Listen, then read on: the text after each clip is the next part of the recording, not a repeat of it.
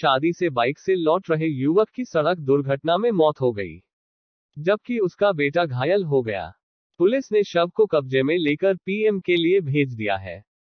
अफजलगढ़ के गाँव उधोवाला निवासी लवकुश 45 वर्ष पुत्र पूरन सिंह उत्तराखंड के कस्बा महुआ डबरा थाना जसपुर में एक शादी समारोह में गया था।